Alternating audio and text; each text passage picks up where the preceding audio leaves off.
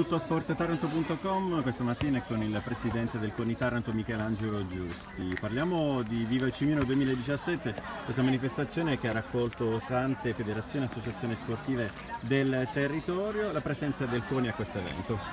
Beh, non potevo mancare perché eh, l'iniziativa è lodevole. Eh, attraverso questa iniziativa si fa promozione e eh, lo sport ha bisogno di promozione affinché dire, i giovani soprattutto, ma non solo i giovani, si avvicinino il più possibile allo sport. Uno sport che fa bene dire, al fisico ma fa bene anche dire, alla mente.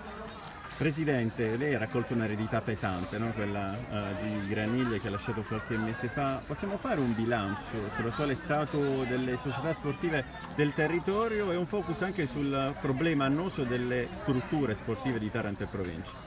Il, lo sport a Taranto, grazie all'impegno di tutte eh, le federazioni e delle relative associazioni affiliate, e grazie al sacrificio, all'impegno di dirigenti, tecnici e atleti stesso, eh, insomma, sta attraversando un buon periodo. I risultati ci sono e sono anche risultati importanti a livello nazionale e internazionale. Bisognerebbe fare di più e l'impiantistica ehm, dire, ha un ruolo importante perché se non ci sono gli impianti non si può fare sport. Insomma.